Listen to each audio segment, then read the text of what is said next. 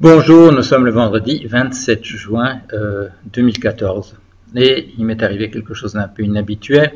J'ai une chronique à apparaître dans le monde euh, lundi, lundi qui vient.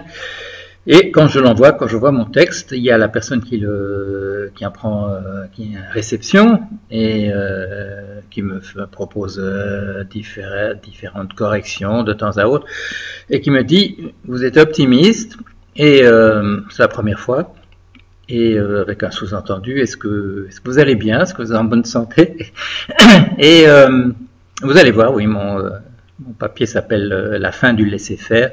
C'est une référence à un, fameux article de, Keynes, John Maynard Keynes en 1926, où il dit, eh ben, le moment est venu maintenant pour pour les gens qui réfléchissent, eh bien d'avoir un, impact sur la manière dont les choses se passe. Et il fait un peu un, compte-rendu du, euh, du laisser-faire, enfin de cette opinion qui s'était installée dans les milieux, non seulement de la finance, mais aussi dans les milieux politiques au, à partir du 19e siècle, sur le fait qu'il valait mieux laisser euh, ne pas interférer avec euh, ben, ce que le, la, volonté, la volonté librement exprimée des individus.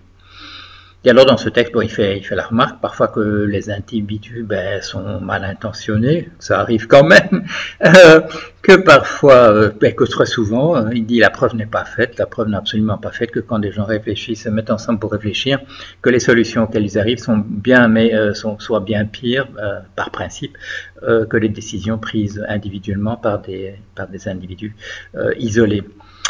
Voilà. Et pourquoi est-ce que je, je parle de ce cet article Eh bien parce que j'ai l'impression que là, on est, on est entré maintenant, et c'est très récent, hein, ça, date, euh, ça date quoi, de, six mois, un an maximum, ah ben, euh, on assiste au retour de l'État, et l'État est en train de mettre bon ordre dans la, dans, la finance. Euh, mon interprétation, par exemple, donc, de ce qui est en train de se passer sur le marché du repo, qu'on appelle les pensions livrées en français, bien que personne n'utilise jamais ce terme-là, mais c'est le terme technique. François Leclerc, par exemple, interprète en termes de, bah, de prise, euh, comment dire, de prise que les euh, hedge funds, les fonds spéculatifs ont sur l'État, le fait qu'il y ait maintenant un certain type d'opération qui s'appelle, euh, je vais vous souvenir, RRP, d'intervention de, bah, de la, essentiellement c'est la, banque fédérale, la fédérale réserve de, New York qui, qui intervient. François interprète ça comme une capture de, des autorités par par les, euh, par les hedge funds. Moi, j'interprète ça en, sens inverse, parce que quand les, euh, euh, autorités interviennent comme cela en position maintenant de, de prêteurs de dernier recours ou prêteurs de dernier ressort, pour aider un secteur qui jusque-là a été laissé à l'abandon, ce n'est jamais, ce n'est jamais sans imposer des conditions extrêmement strictes pour, euh, dans, le cadre de son intervention. Ce qui est une, ce qui est une façon euh, de mettre bon ordre là. Et en particulier, cette intervention RRP est une manière d'aller euh, drainer des fonds en excès euh, dans, le, dans ce secteur du shadow banking des, euh, des, des fonds spéculatifs.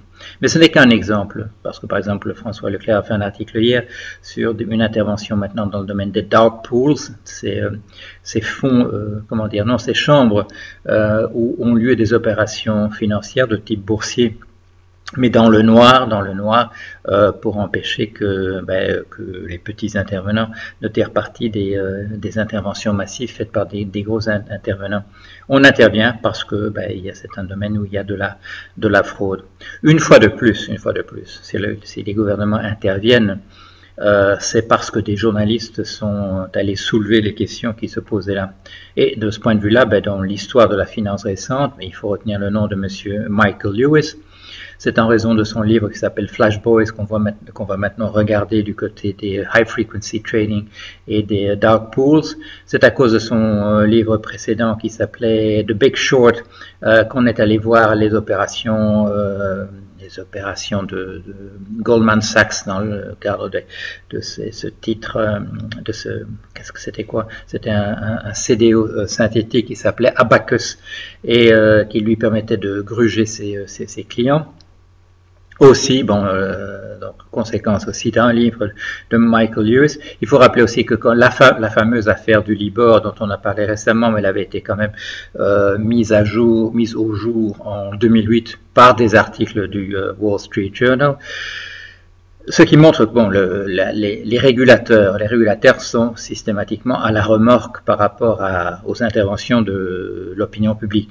Et bien entendu, bon, euh, effectivement, les, livres écrits par des journalistes, les articles faits par des journalistes dérangent le, informent et puis dérangent l'opinion publique quand il y a des fraudes massives.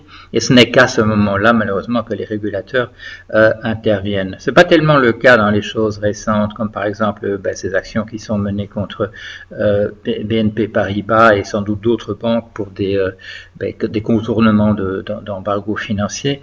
Là, il semble qu'il y ait une initiative. Il semble maintenant que les régulateurs se sentent ragaillardis par le fait que ben, qu'on soit content, que l'opinion publique soit content quand ils interviennent. Euh, pour comment expliquer le fait qu'ils sont jamais intervenus d'eux-mêmes jusqu'ici, euh, jusqu'à très récemment, euh, que c'est uniquement des journalistes qui les, qui les amènent à intervenir une fois que l'opinion publique est absolument, comment dire, choquée par les faits qui sont découverts. C'est ce qu'on appelle la capture du, du, régulateur. Les régulateurs sont dans un rapport de, de force défavorable par rapport au, euh, à leurs clients. J'ai raconté, moi j'ai raconté euh, déjà plusieurs fois, une fois dans un texte, une fois je crois dans une vidéo, cet, un, cet incident entre, entre moi-même et un, et, et un, banquier de, de, de, haut rang et qui me dit, euh, vous savez, le, il, il, il le dit pas comme ça, mais il, me, il dit dans le rapport de force entre, le, entre le, les régulateurs et moi, c'est moi qui gagne parce que c'est moi qui dis au régulateur ce qu'on va faire. Et euh, il, il, il, peut, il, peut juste, il peut juste se taire.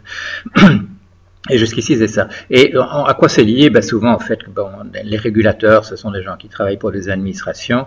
Euh, ils dépendent, leur carrière, comme ils la conçoivent, dépend essentiellement du fait qu'ils seront, euh, qu'ils seront ensuite, qu'ils vont quitter, euh, qu'ils vont quitter cette administration et être payés deux fois, trois fois, quatre fois plus euh, quand ils travailleront dans les, euh, ben dans les entreprises qui sont en principe, euh, qui doivent en principe surveiller.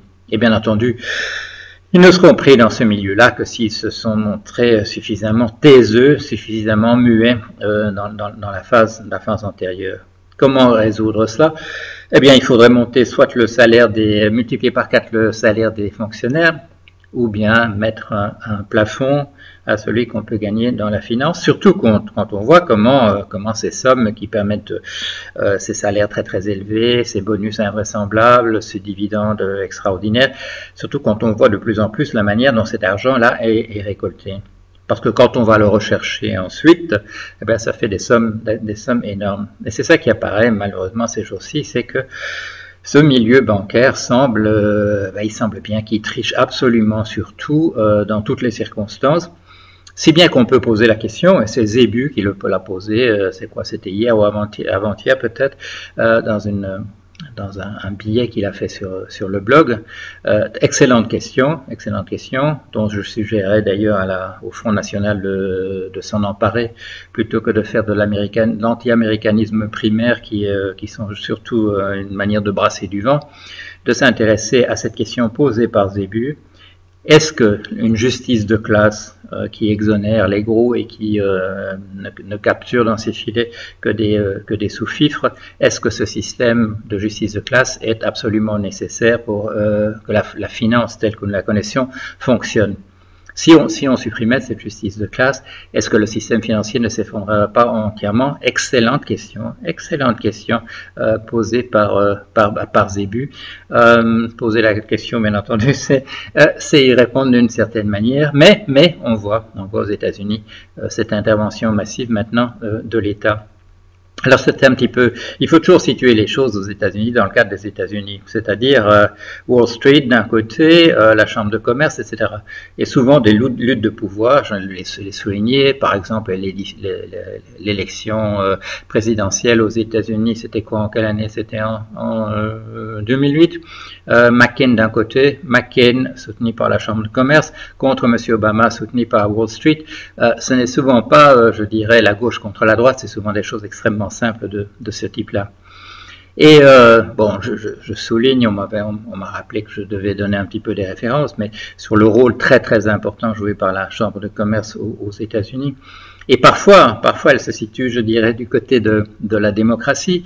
Euh, par exemple, dans le cas qu'on voit se dessiner à ce moment, où le fait que la NSA, le système de surveillance, euh, une, fois, une fois découvert la manière dont il fonctionne et euh, les liens du business avec, euh, avec ce, ce, milieu, avec, avec ces, euh, ces injonctions qui viennent d'une administration d'hyper-surveillance, eh bien, la chambre de commerce n'est pas contente, n'est pas contente parce que ça fait perdre du business. Parce que, comme on l'a vu hier, euh, ben, l'Allemagne dénonce un contrat avec Verizon, une grande compagnie de, euh, télécommunications. Pourquoi? Parce que ben, on n'a pas envie en Allemagne d'acheter comme ça des systèmes dont on sait qu'ils sont absolument verrouillés par de la, euh, par de la surveillance. Ah, ça, la Chambre de commerce n'aime pas.